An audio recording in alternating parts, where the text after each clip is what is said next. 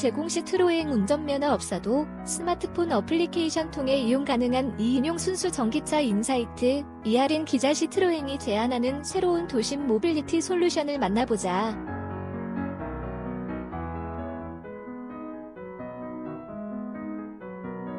20일 시트로엥은 오는 3월 7일부터 열리는 2019 제네바 모터쇼에서 브랜드 탄생 100주년을 기념하는 콘셉트카 에이미원 콘셉트를 공개한다고 밝혔다.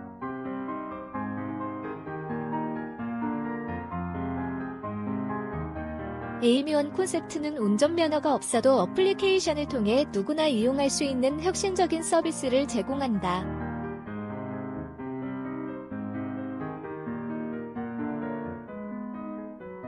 QR코드 인식을 통해 차량에 대한 접속이 가능하며 계기판 위에 스마트폰을 꽂으면 차량이 사용자 및 주행 정보를 인식해 스스로 작동한다.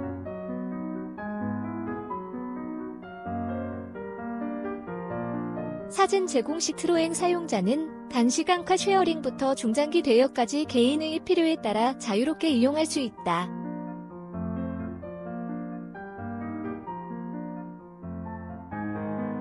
에이미원 콘셉트는 순수 전기차로 이산화탄소를 배출하지 않으며 최고 속도 45kmh, 1회 충전 시 주행 가능 거리 100km, 완전 충전까지 2시간이 소요된다.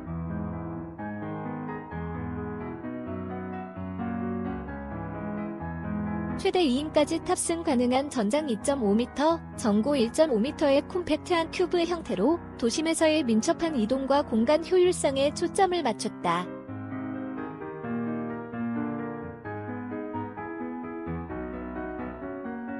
내부 또한 시트로엥 Advanced Comfort 프로그램을 적용해 편안하면서도 활용도 높은 공간을 구성했다.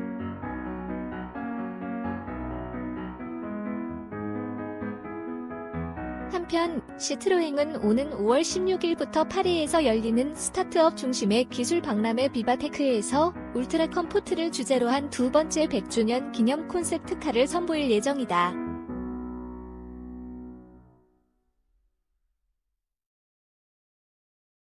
사진 제공 시트로엥